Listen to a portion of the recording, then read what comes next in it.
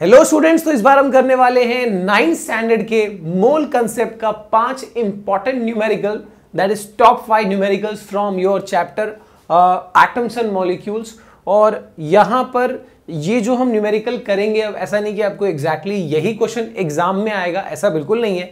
लेकिन अगर आपको ऐसे क्वेश्चंस की प्रैक्टिस रही तो ऑलमोस्ट आप सारे क्वेश्चंस परफॉर्म कर पाओगे। फॉर्मूलाज कोई बहुत ज़्यादा टफ नहीं है। मैं यहाँ पर फ़िलहाल में दो फॉर्मूलाज लिखता हूँ, बाकी सब चीज़ें ऑलमोस्ट हम वहीं से निकाल लेंगे। दैट इज़ पहला फॉर्मूला आप याद रखिए नंबर ऑफ़ मोल्स का। What is that number of moles is simply given mass by molar mass आपको जो भी केमिकल का मास दिया है वो लिखिए, उसका मोलार मास नीचे लिख दीजिए। इससे आपको मिल जाएगा number of moles and the second formula जो यहाँ पर आपको पता होना चाहिए that is for number of atoms या फिर नंबर ऑफ़ मॉलिक्यूल्स ठीक है? तो नंबर ऑफ़ पार्टिकल्स का इनफैक्ट ये फॉर्मूला है and that is number of moles into Avogadro's number अब नंबर ऑफ़ मोल्स अगर आपको डायरेक्टली दिया है तो आप सीधे पुट कर दो, नहीं तो अगर मास दिया हुआ है तो फिर अगेन नंबर ऑफ़ मोल्स क्या होता है? Given mass by molar mass into Avogadro's number कितना है? 6.022 10 रेज टू 23 ठीक है? तो ये दो फॉर्मूलाज अगर आपको पता है, याद है तो बस बाकी सब इजीली हो जाएगा। इसके अलावा मैंने बहुत सारे क्वेश्चंस और भी वीडियोस हैं जो मोल कंसेप्ट पे बनाए हैं अराउंड आपको फाइव वीडियोस और मिल जाएँगे इसी मोल कंसेप्ट की न्यूमरिकल्स पे। उसमें ऑल फॉर्मूलाज एंड ऑल सब कुछ डिस्कस किया हुआ है। अगर आपने वो नहीं देखा तो आप देख सकते हो। अदरवाइज़ स्टार्ट करते हैं with the first one calculate number of moles in 4.6 gram of sodium simple है. नंबर ऑफ़ मोल्स निकालना है. आपको गिवन मास दिया हुआ है. और सोडियम का आपको एटॉमिक मास तो पता होगा. 23 यूनिफाइड मास अगर एटॉमिक मास 23 यूनिफाइड मास है तो मोलार मास कितना हो गया इसका? मोलार मास हो गया 23 ही लिखना है और आगे यू की जगह ग्राम लगा देना है. तो यानी अगर वन एटम का मास है 23 यू तो वन मोल्स ऑफ़ एटम्स यानी इतने एटम्स का 6.02 10 टू 10 23 एटम्स का जो मास है, वो 23 ग्राम हो गया ओके? तो अगर हमको यहाँ मोलर मास पता है नंबर ऑफ़ मोल्स निकालना है तो सिंपल है। Number of moles is equal to given mass upon molar mass कितना हो गया भाई, देखो गिवन मास कितना है? Given mass is twenty sorry 4.6 by molar mass. Molar mass कितना है? 23 बस ये डिवाइड कर दो। 23 टू जा 46 होता है राइट ये 4.6 है तो 0.2 आ जाएगा। यानी कितने मोल्स हो गए? 0.2 मोल्स ऑफ़ सोडियम हो गए राइट अब यहाँ पर देखो, एक और चीज़ पूछी है। सेकंड क्वेश्चन देख लेते हैं। सेकंड क्वेश्चन में बोला गया है calculate number of molecules in 46 gram of sodium तो नंबर ऑफ़ मॉलिक्यूल्स का भी फॉर्मूला है हमारे पास। In fact number of molecules नहीं होगा ना एटम्स होगा। सोडियम तो एटम होता है। तो यानी हमको नंबर ऑफ़ एटम्स निकालना है। So again the same formula ये वाला देखिए नंबर ऑफ़ एटम्स या मॉलिक्यूल्स यहाँ पर एटम है एलिमेंट है तो एटम होगा। एटम्स का नंबर कैसे निकालना है? Given mass by molar mass into देखो number of moles into Avogadro considered है, पर नंबर ऑफ़ मोल्स नहीं दिया, हमको मास दिया हुआ है तो हम वही यूज़ करेंगे नंबर ऑफ़ मोल्स क्या होता है? Given mass by molar mass into Avogadro's constant that is कितना मास दिया हुआ है इसका? 46 ग्राम ठीक है? बाय मोलार मास कितना है? सोडियम का अभी लिखा था हमने 23 ग्राम ठीक है? Into six point zero two two into ten raise to twenty three अभी ये हो जाएगा ट्वेंटी थ्री टू ज़ा फोर्टी सिक्स टू को मल्टीप्लाई कर लो six point zero two two से, कितना आ जाएगा? Twelve point zero four four into ten raise to twenty three sodium atoms या फिर आप इसको थोड़ा और तरीके से लिखो तो ये this can be written one point two zero four four into ten raise to twenty four sodium atoms ठीक है? तो ऐसे क्वेश्चन आप आसानी से कर सकते हो। नेक्स्ट वाला देखते हैं। नेक्स्ट वाले में आपको कैलकुलेट मास ऑफ़ अब यहाँ पर हमको मोल्स दिया हुआ है और मास निकालना है। देखते हैं कैसे होगा। सो so, यहाँ पर वाटर दिया है। वाटर का मॉलिकुलर मास जो है आपको पता होगा कितना होता है। वाटर का मॉलिकुलर मास लेटस सी भाई वैसे 18 होता है। देखते हैं। हाइड्रोजन का एटॉमिक मास वन है। इनटू दो हाइड्रोजन तो टू प्लस ऑक्सीजन का एटॉमिक मास 16 है टू प्लस सिक्सटीन कितना हो गया? 18 सो so, यानी वाटर का मॉलिकुलर मास जो है याद रहे 18 ग्राम है सॉरी 18 यूनिफाइड मास है. तो मोलार मास कितना हो गया? बस ग्राम लगा दो. तो यू की जगह ग्राम लगा दिया तो वो उसका मोलार मास हो गया.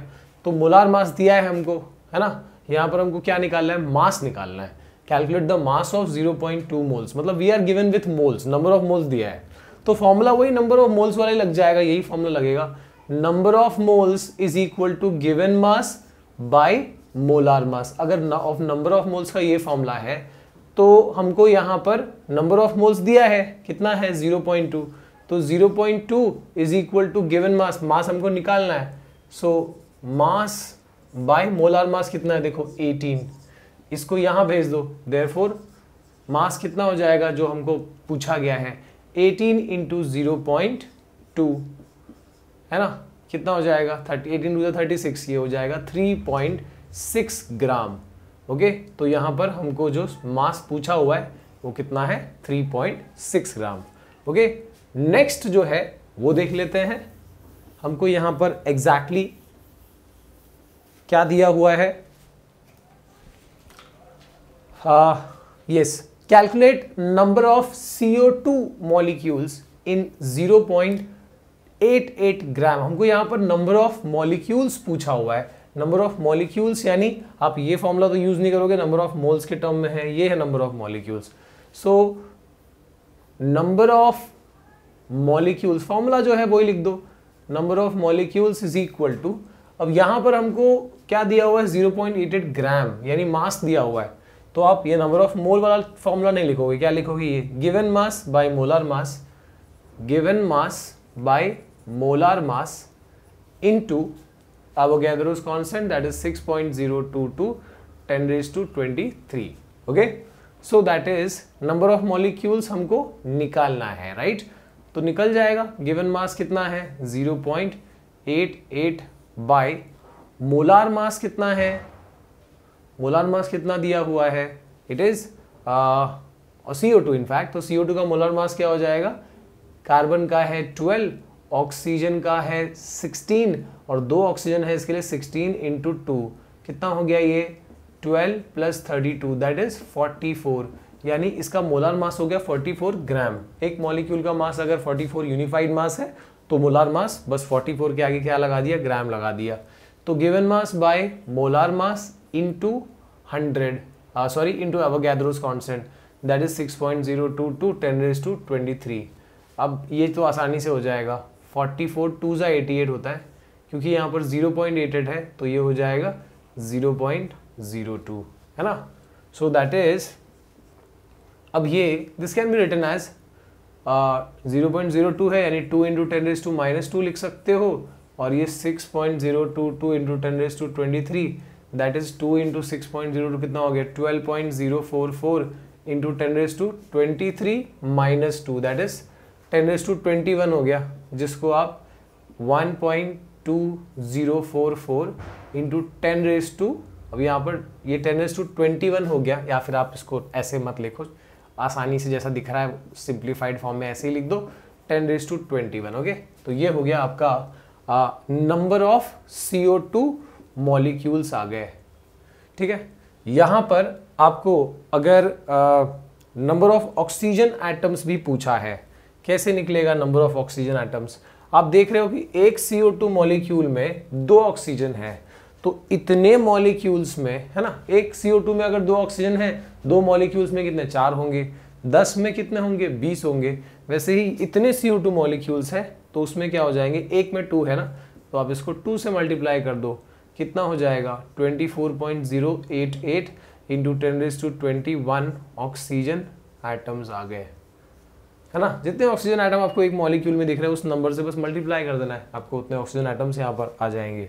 Okay next is which is containing more number of atoms अब यहाँ पर ये इस टाइप का क्वेश्चन भी आता है। जैसे कि दिया हुआ है, कौन ज़्यादा नंबर ऑफ़ एटम्स कंटेन कर रहा है? Let us see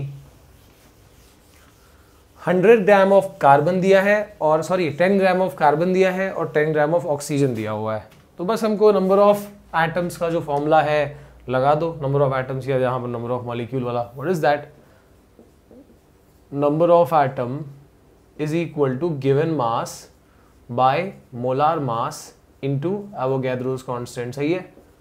सो so, अभी हम यही चीज़ कार्बन के लिखते हैं। कार्बन के लिए। सो so, कितना हो जाएगा? गिवन मास कितना है? टेन बाय कार्बन का मोलार मास कार्बन का एटॉमिक मास क्या होता है? ट्वेल्व तो मोलार मास भी ट्वेल्व ग्राम हो गया right into Avogadro's constant यानी 6.022 10 रेज टू 23 इतने एटम्स हो जाएँगे इतने कार्बन एटम्स हो जाएँगे।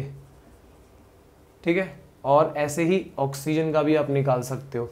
गिवन मास 10 है ऑक्सीजन का मोलार मास 16 होता ना?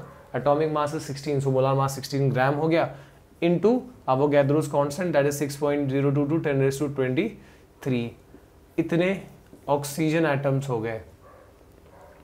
अब आप अगर इसको डिवाइड करना चाहो तो डिवाइड कर लो अदरवाइज़ यहाँ पर आपको डिवाइड तो करना ही पड़ेगा। मैं ऐसे जनरली बता दूँ कि दोनों का न्यूमरेटर वाला वैल्यू देखो सेम है।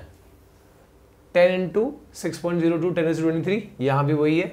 डिनोमिनेटर में यहाँ पर नीचे ट्वेल्व है, यहाँ सिक्सटीन है। अगर डिनोमिनेटर में बड़ी वैल्यू है तो न्यूमरेटर ओवरऑल क्या हो जाएगा? छोटा हो जाएगा। यानी number of carbon atom will be greater than number of oxygen atoms यहाँ डिनोमिनेटर छोटा है मतलब ओवरऑल नंबर बड़ा हो जाएगा। ठीक है? आप इसको डिवाइड करके आपको यहाँ मल्टीप्लाई करना होगा। आपको चेक करके बताओ, पर एक्चुअली आप यहाँ लॉजिकली देख सकते हो कार्बन एटम्स का नंबर ज़्यादा होगा कंपेयर टू ऑक्सीजन आइटम क्योंकि न्यूमिनेटर सेम है डिनोमिनेटर में यहाँ पर छोटी वैल्यू है और इधर बड़ी वैल्यू है।